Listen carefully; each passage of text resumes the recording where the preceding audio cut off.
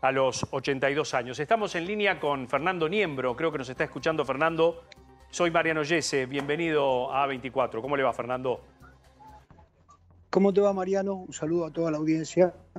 Bueno, la verdad que impactados por la noticia, ¿no? Eh, la verdad que los que tenemos ahí más de 50 años, eh, Pelé fue el rey del fútbol siempre, ¿no?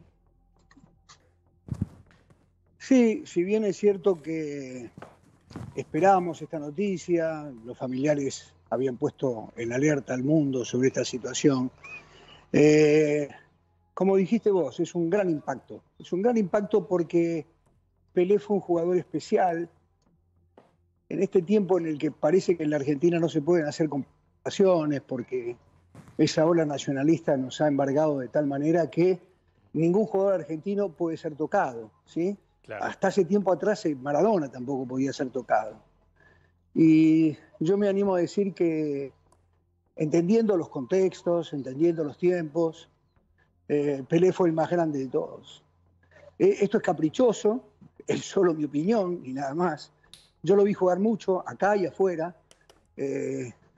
una figura sin igual, porque él jugaba al fútbol cuando los zapatos eran zapatos de uso y cuando la pelota pesaba 50 kilos. Claro. Y cada vez que, llegaba, los, cada vez que llegaba la pelota a los pies de, de Pele, él la transformaba en una bomba de algodón. Qué bárbaro, qué eh, bárbaro. alguien me dice, pero en aquel, en aquel tiempo no se marcaba como se marca hoy. Claro. Es cierto, hoy, hoy la táctica, eh, eh, el esfuerzo físico, la velocidad llevan a que el fútbol se juegue en otras dimensiones. Ahora, si bien es cierto que ahora hay menos espacio para jugar, antes a Pelé especialmente a Pelé, lo iban a buscar a la altura de la nuez. Pelé no pudo jugar dos mundiales porque se lesionó. Uno porque brutalmente los búlgaros lo sacaron de la cancha en el Mundial 66 de Inglaterra. Pelé eh, contaba Ardiles que Pelé hizo la película El escape a la victoria. Claro, claro. ¿Se acuerdan? Sí. Que estaba, jugando Boy Moore, Ardiles. y varios de ellos. y Ardiles cuenta que en, un, que en un momento determinado él dice, no, yo salgo de este partido, porque me vienen a buscar a mí, era una, ficción, era una película, pero los otros, los adversarios, los supuestos alemanes, nazis, eh, en este caso actores, pero jugadores de fútbol al fin, lo iban a buscar para pegarle, pero para pegarle de manera brutal, para lesionarlo, para sacarlo de la cancha. No existía VAR, Muchas veces los partidos en la Argentina, cuando Pelé vino a jugar a la Argentina, no se televisaban. Para ir a ver a Pelé había que ir a la cancha. Eso le da otra dimensión.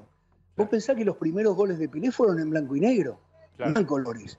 Por eso muchos hoy, contemporáneos, este, no a Pelé, sino a estos tiempos, le quitan mérito. Pelé fue grandioso, fue genial. Fue de esas figuras que están por encima de cualquier contexto, de cualquier tiempo, Viste que algunos dicen, no, mirá, fue Di Stefano en su tiempo, Kreis después, después vino Maradona, después Messi, en el orden que quieran encadenarnos. Bueno, yo digo que sí, que, puede ser que Di Stefano en su tiempo, que Kreis fue un poco más tarde, que Maradona casi cerca de nosotros, Messi en este momento, pero no dudes que Pelé estuvo por encima de todos ellos. Claro. Porque fue un jugador excepcional. Todo, todo lo que vos ves que hacen los grandes jugadores hoy, Pelé ya lo hizo. Tal cual. Va a ver que tal cual va a haber que sentarse frente a al televisor para cuando recuerden ustedes y otros canales la historia de Pelé, vean, che, ah, pero esto lo hizo Pelé, esto lo hizo Pelé. Yo muchas veces me siento con mi nieto para mostrarle cosas. Claro, las filmaciones no tienen la fidelidad que tienen estas de hoy, pero son cosas geniales. Pelé realmente fue eh, una figura de, de, un, de un alcance inmenso. Fernando, ¿y cómo, cómo caratulás o cómo definís la relación que tuvo con Maradona?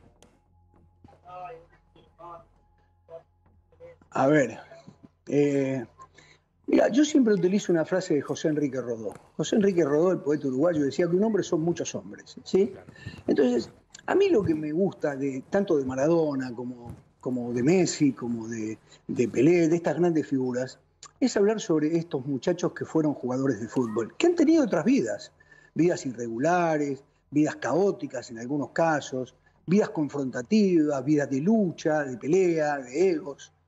Y Pelé lo tuvo. Pelé, así como era un jugador al que iban a buscar para cortarlo al medio, Pelé era ladino, era judío Pelé. Era un tipo que nosotros lo vivimos en una copa de las Naciones que se jugó en Brasil en el año 1964, Pelé, el técnico de aquel tiempo lo manda a marcar a Messiano, que era un jugador de Argentinos Juniors, a hacerle marca personal a Pelé. Messiano jugaba bien, pero se aplicó a la marca y Pelé no se podía mover. Cuando quería tocar la pelota, él ponía un pie y se la sacaba, el jugador argentino. ¿Y qué hizo Pelé? Le bajó el codo y le rompió toda la nariz, le rompió toda la cara, tuvo que ser reemplazado en aquel tiempo. Es decir, ese es el Pelé que me gusta. ¿Qué, ¿Quién fue Pelé con relación a Maradona? ¿Más, menos?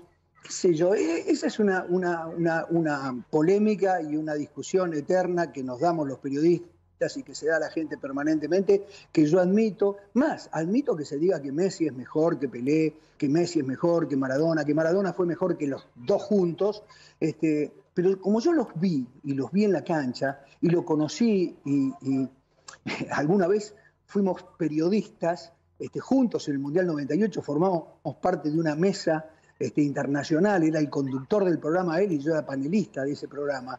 Eh, como yo lo conocí también cuando era jugador del Santos, porque tuvo gestos con nosotros este, de, un gran tipo, de un gentil hombre, este, la dimensión que yo tengo, el recuerdo que yo tengo de Pelé es extraordinario, pero extraordinario, extraordinario.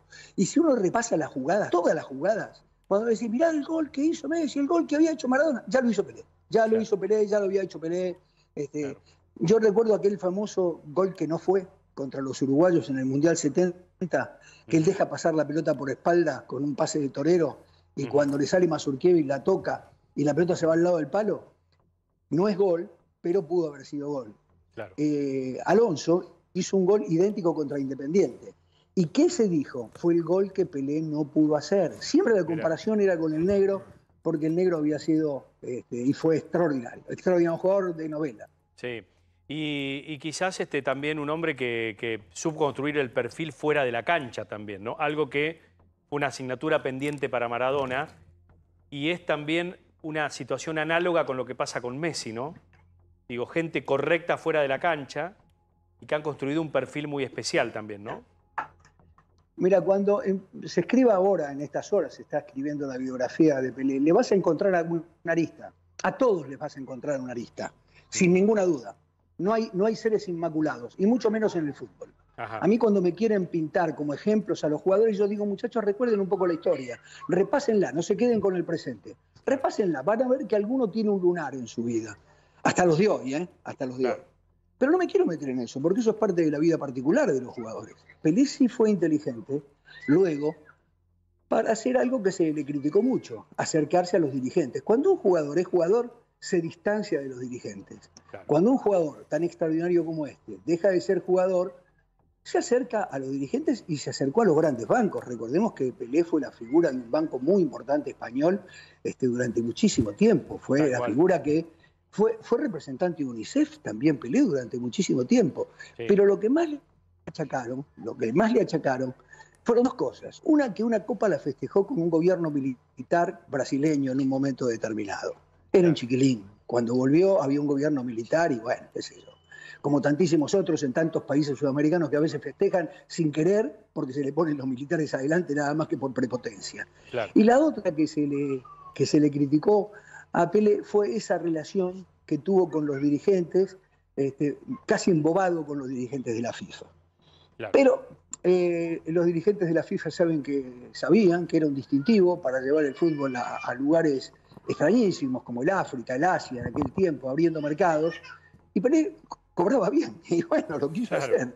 Este, pero volvamos, volvamos al jugador que se vestía de corto, extraordinario. Inigualable, inigualable, inigualable, inigualable.